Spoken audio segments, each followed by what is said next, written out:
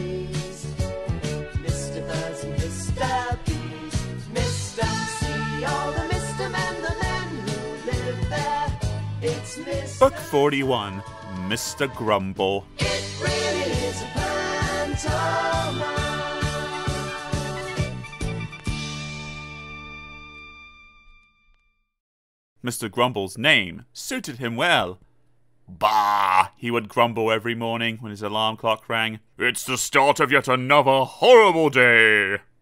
Bah! he would groan every afternoon on his walk in the country. I hate the countryside. One day, just after he said this, someone suddenly appeared by magic. It was a wizard. A wizard to whom Mr. Grumble had the nerve to say, Bah! I hate wizards who suddenly appear by magic. Really? said the wizard. Well, I don't like people who are constantly grumbling and moaning. I'll tell you what I do to people who have bad manners. I turn them into little pigs. And the wizard disappeared, leaving behind him a very piggy looking Mr. Grumble. Mr. Grumble was afraid that he might remain a pig for the rest of his life. But five minutes later, by magic of course, he changed back into his old self.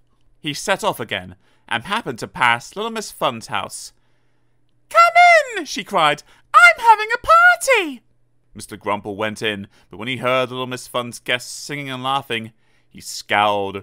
Bah! he moaned. I can't stand singing laughing. He would have done better to have kept quiet because the wizard appeared once more. I see that my first lesson wasn't enough, he said. If I'm going to teach you to stop grumbling, groaning, and moaning, I'll have to do more than turn you into a little pig. I'll have to turn you into a big pig. Mr. Grumble did not like it one bit.